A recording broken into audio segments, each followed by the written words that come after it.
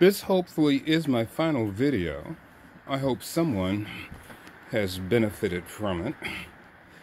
And I'm going to wrap up and or finish the um, my notion of planting roses ahead of time and everything else.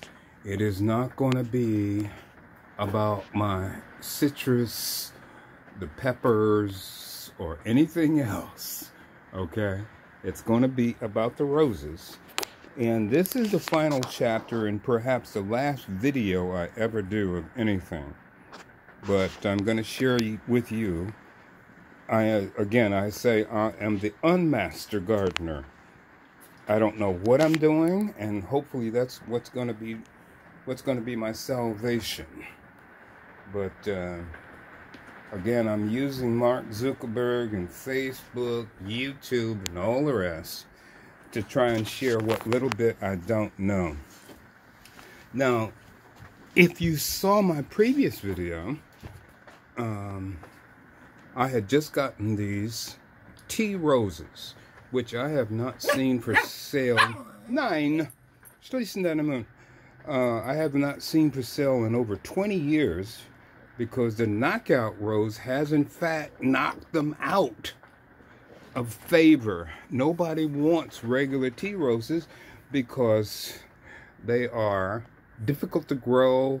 In my climate, uh, it's impossible because it's far too much humidity. But again, I have shown you the whole process. And again, this is going to be one of the shortest videos I've ever done. So um, I'm going to finalize this by showing you and sharing with you again the um, my final stage which is to bakerize it. And in bakerizing it I'm going to do a couple of odd things nobody else ever does. First I am going to add to the fertility of this plant nine uh, by adding banana to contribute to the potassium in the soil. I would rub that around a bit, whatever. And uh, of course, I would put it all around. But this is a great use for rotten bananas or banana peels or whatever.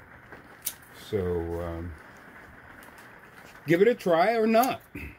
I don't care.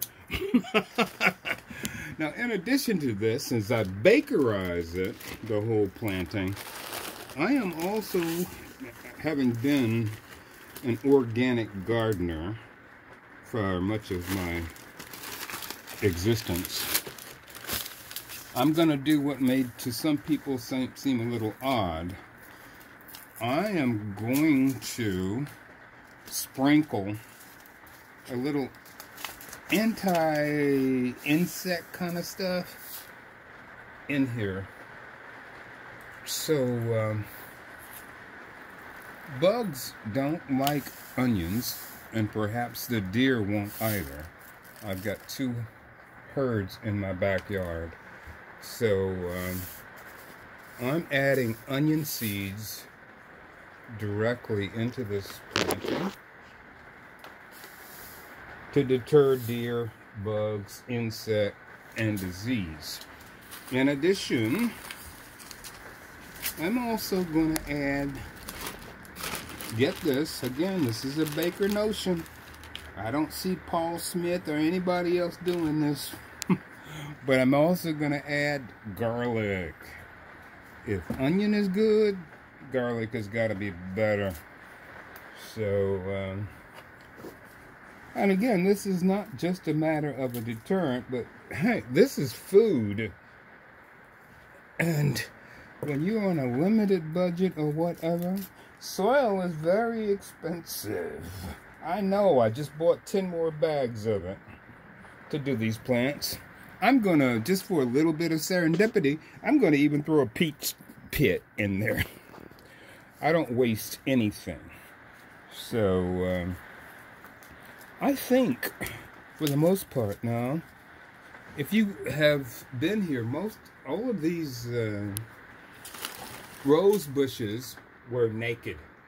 They had no growth whatsoever. And now it's growing very prolifically. Actually, too fast for the DMV or the uh, District Maryland area. It's growing too prolifically, but if these had been outside in my freezing weather, they would be dead. That new growth would all die. So, uh, I can't tell you any more than this. Since from the beginning I've told you I am the non-master. I am the non-gardener. Little water now, since it's picking up so fast. Otherwise I would have not watered at all. Perhaps I'll put some orange trees in there or some grapefruit, banana. But uh, that's it, folks. I hope you've enjoyed this, and hopefully you can get something out of it. Um, and no doubt I have made many mistakes, but keep in mind what I have said. Honestly, I am the unmastered gardener. I am not a master of anything, but uh, I be do believe in sharing. So, anyway, side chin.